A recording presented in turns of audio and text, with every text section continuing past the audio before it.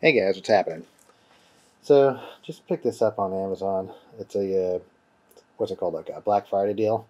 I think I got it a couple days ago before Black, Black Friday, but yeah, incredible deal. This is a Maker Base Monster 8, um, you know, eight, eight steppers. But this video is actually real about, really about this. Uh, it's actually the first time I've seen these, the Trinamic 2240 drivers. And, um, yeah, there's actually not even a lot of information on Klipper about it. So I don't even know if it's actually built into the actual software yet. So I'll try to get working in Klipper. Um, but I have a feeling these are going to be the successor to the, to the 2209s. Um, because it can handle a little bit more voltage. So the 2209 can handle like uh, 28 volts, 29 volts. Uh, this one can handle 36 volts. And uh, I think 2.8 amps max current for the 2209s, and these can do 3. So they're a little bit more powerful. Um, but the unique thing about these ones is even the 5160s don't have it either. Um, is the internal temperature sensor. So there's an internal thermistor in the actual driver. So in case you're overheating these things while you're actually like running your print, I'm assuming maybe eventually what you'll be able to do is basically like lower the current down or slow the print down, like based on the temperature. You could slow down your actual acceleration and uh, speed. But uh, yeah, bigger heat sink. Yeah, I mean the typical 2209 heat sink's probably about uh, yeah one of these less, so it's about three three rows. This one's four rows. Um, very expensive, so they were you know uh, less expensive than a 5160 and a little bit more expensive than a 2209. So it's exactly they're almost like right in between the two. Um, eventually, I might go to the bigger external Pro 5160s, but uh, let me show the printers going in. Yeah, I'm pretty much done with this one. It's uh, called the Orca Super Cube. Um, you know, quad. Well, eventually, the reason why I'm actually got the, the, the other motherboard was to uh, want to do quad quad bed leveling. But uh, yeah, I'm on the final phase of that thing. It's a hundred percent designed new printer from scratch.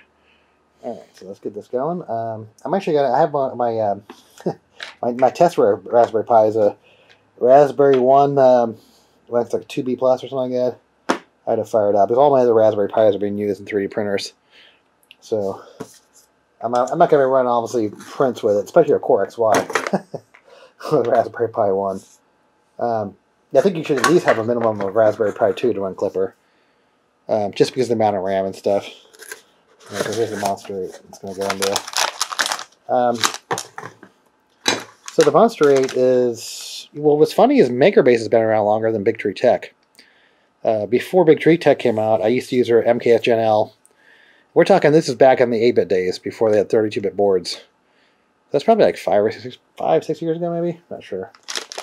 Um, but yeah, it's cool that MakerBase is still around, you know? Yeah, they took a big hit from Big Tree Tech because I remember when Big Tree Tech came out, what their 1.1 board, SKR 1.1 board, I was like, wow, this is crazy. You know, they really made a lot of advancements in like, you know, being able to control the drivers and stuff. Like, I guess the, the version 1.1, you actually still had to run the jumper wires. But the 1.3 was, you could do it all internally. They had internal traces. But, uh, all right, I want to blabber on. All right, so we're going to go in here. Um, almost I'm going to be running these. I'm going to be probably running, for the XY, I'll be running the uh, 2240s if I can get them to work. I don't know if I can get them to work. Um, on the XY, and then the uh, the four Z motors will be uh, 2209s, which I already have. So, um, yeah, like I said, if I can't get these to work, then I'm gonna get some 5160s. Um, but actually, like I said, the the difference is these actually run SPI communication, so they communicate with the firmware via SPI, whereas the 2209s communicate via UART. So so that's what I'm saying. It's kind of like a cross between. It's like really, you know, it's I don't know, like it's because like I said, you, the 5160s use SPI too. So the usually the higher end Trinamics use SPI. Okay, so I have the jumper pin set up for um, SPI. So for SPI, it's all four jumpers, and for UART, it's just a single jumper there. All right, let's get this going. Actually, let's have it. Okay, so they cool. They are indexed there. So originally I thought this was the actual. I guess this is the diag pin actually. So for sensorless homing, that's the diag pin, as far as I can remember. All right, so and also cool thing is it acts like a key, so you don't get them the wrong way. All right, there we go. So it'll be interesting to see. I really, I mean, at this point, if you're not going to be running these things, I mean, you're probably not. I'm, I'm, I'm guessing these are going to be the successor of the 2209. Just because they're so close in specs and you have that added feature.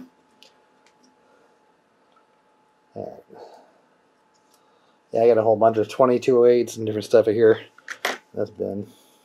If you can see that in the video. Alright, so now I got to hook up my Raspberry Pi 1 here.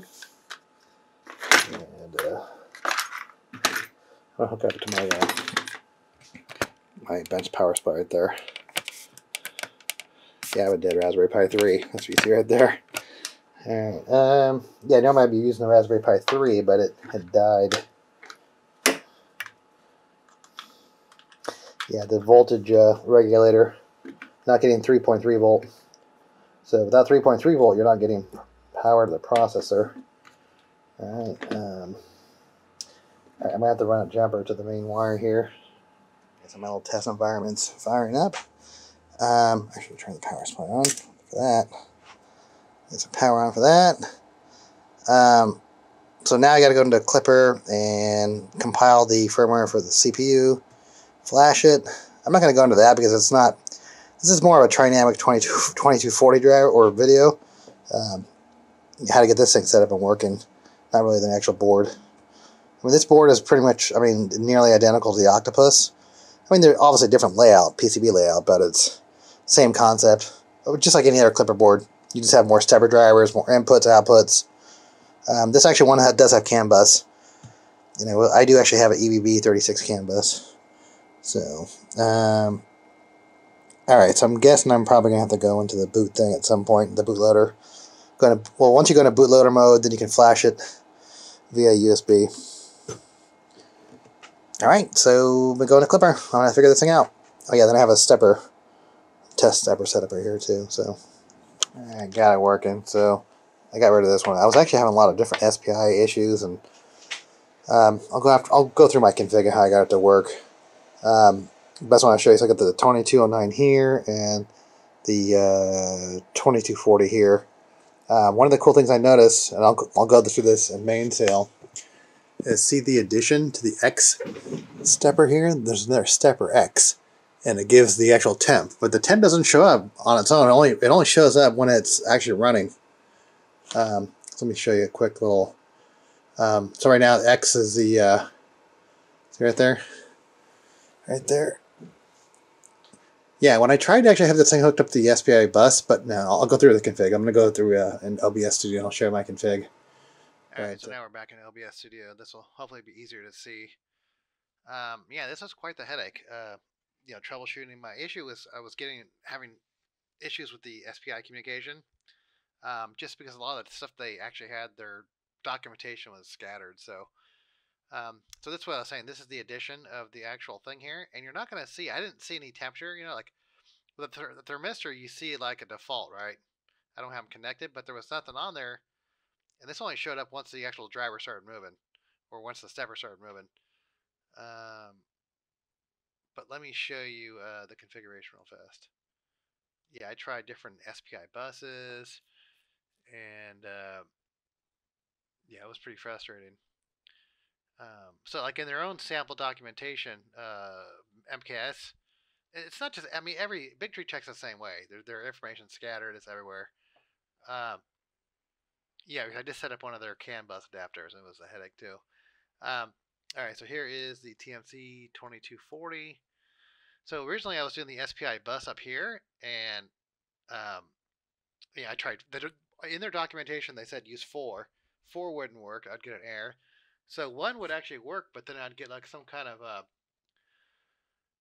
it would partially work, but then I'd get like a timeout, and it would lose communication with the driver. That's why I have this other commented out issue. I was trying to mess with the speed, um, you know, slow down the actual communication speed. Um, but I had to manually define all the pins here, the uh, MOSI, MISO, and the, the, the clock. So, but let me show you where I, and, and most board, you'll get in most uh, boards you'll get a pinout diagram, or you can find one that will basically tell you what you need to know here. So see this right here, the mostly four, uh, 14, 12, and 13. So that's actually where I got that stuff from. Um, yeah, most boards will actually have that. So, um, and that that was my uh, that was the uh, 2209 driver. I mean, 2209s are easy to configure. I mean, they're always you know super easy. Just enable UART, make sure the right pin's correct. Either enable or disable the uh, sensorless homing. I'm not going to be using sensorless homing, so it actually I'm not going to be running the diag pin. Even there is a even though there's a diag pin defined here, um, I'm not going to be doing sensorless homing.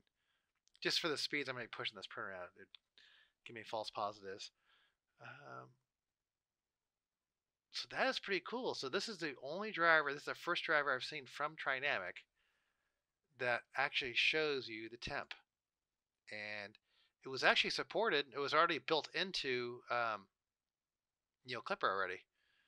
But the documentation is not really great, but um, I wasn't expecting this to show up right here, but I thought that was cool that it did. So um, actually, before I go, I forgot to uh, show you this thing move. Uh, so right now I actually don't have any end stops connected, so it's going to travel to the uh, max and then basically uh, air out. But pay attention to this area right here where the, the temperature probe is. So right now my it's on X. See right there? I wish this was on 24-7. I mean, because that'd be nice to be able to see what's actually happening with it. So yeah, see, didn't find an end stop, but all right, guys. Uh, it's what Friday night, uh, Black Friday. Um, all right, cool. So yeah, I didn't see a lot. I, I didn't see any videos on how to set this thing up anywhere. So um, hoping this video helps somebody. Um, I spent a few hours on it, but uh, yeah, once you start playing with 3D printers for a while, you're gonna realize that all this documentation scattered everywhere. Uh, yeah, it's kind of a headache, but all right, but it's cool. It's fun. All right, awesome. Thank